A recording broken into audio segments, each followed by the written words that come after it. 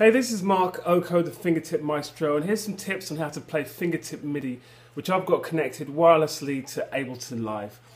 The app is designed in rows, so the easiest way to play it is by swiping from row to row. I've got the quantization turned on, so that'll keep me in time, so I can do this.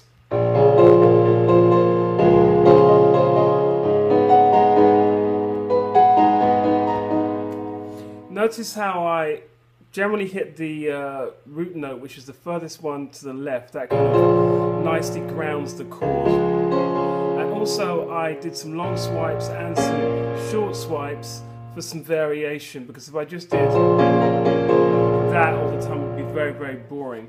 So what you can do next is try using two hands.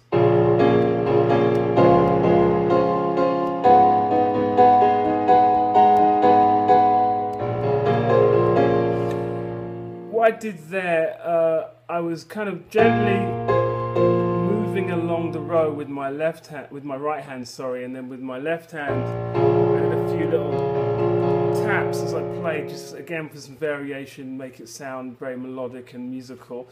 Um, what I'm going to do next, you can also try, instead of playing three notes next to each other, you can make gaps in your fingers to get different chords can move up and down the row. So if I do that with my uh, right hand and then add the left hand on the root note, you get this.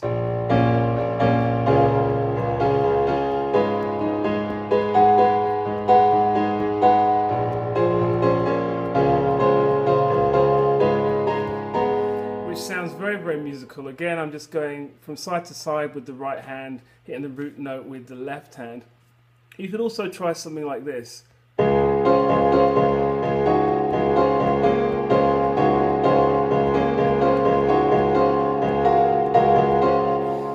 Just going up and down uh, the rows with uh, my right hand, and my left hand just staying on the, the couple of chords, a uh, couple of notes on the on the left hand side there, which I sounds uh, sounds pretty nice. Uh, so try it out, experiment. Like I say, it works best if you do play it in rows, but obviously you can play however you want. Um, you know, and just switch it up, vary it up, use two hands, swipe, long swipes, and see what you come up with.